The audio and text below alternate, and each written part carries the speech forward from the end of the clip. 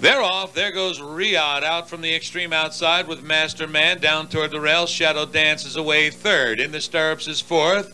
Up on the outside, belatedly Misfit looking for a spot. Then it's Black Friday, followed by LV Whiskers and Zaka Creek trails early as they move on the turn. Riyadh out there, two and a half lengths.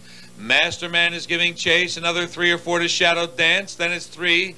Two in the stirrups who got away fourth. Black Friday races fifth. 27 seconds the opening quarter. Riyadh out there two and a half. Masterman is a close-up second. Five back to Shadow Dance. Another three lengths to In the Stirrups. Then it's Black Friday, followed by LV Whiskers, Zaka Creek, and having to take back to last, there were no holes, was Misfit. They go around the clubhouse, turn toward the half.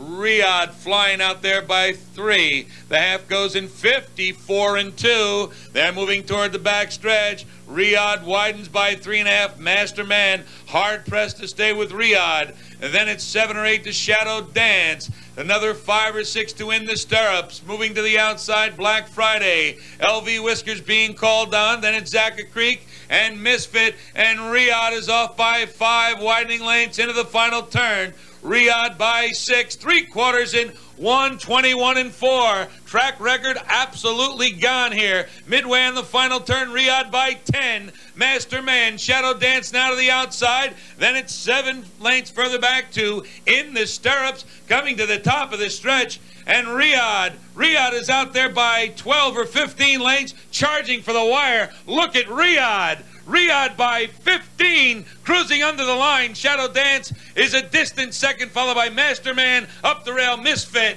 149 and 1.